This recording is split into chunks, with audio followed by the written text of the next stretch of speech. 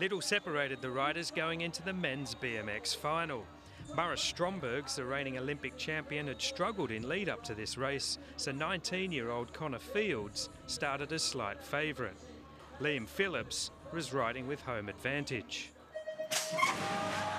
It was Strombergs and Phillips who got the best of the all important start, but Phillips struggled on the first turn, and the Latvian took the lead. Australia's Sam Willoughby rode into second, whilst Colombia's Carlos Oquendo trailed at the back of the race.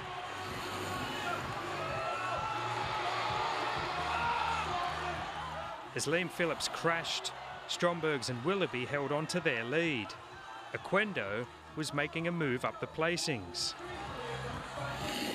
US rider Connor Fields collided with the Colombian Andres Jimenez on the final corner, and it was Maris Strombergs who rode to victory.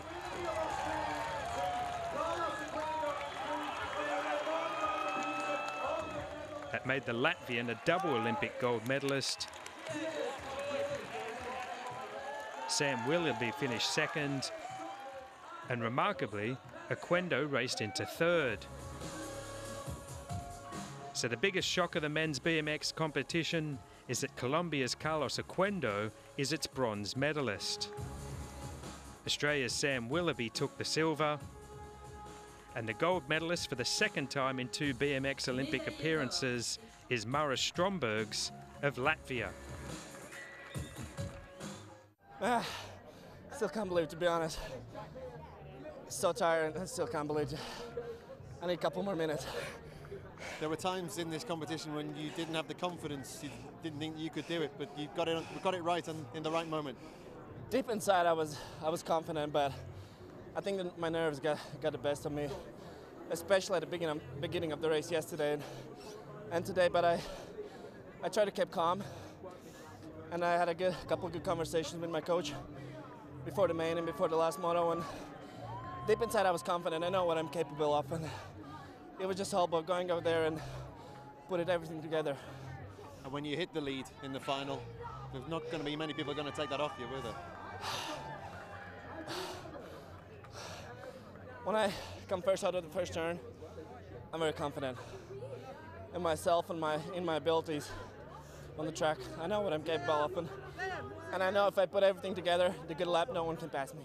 My two days was a bit up and down, and, and I think me and Maris both, we had up and down days yesterday and today, and, and we ma- I managed to turn it around and to, to, get a, to get a medal. I'm just stoked. For how bad I felt my day was yesterday to come back and get second, I'm really happy.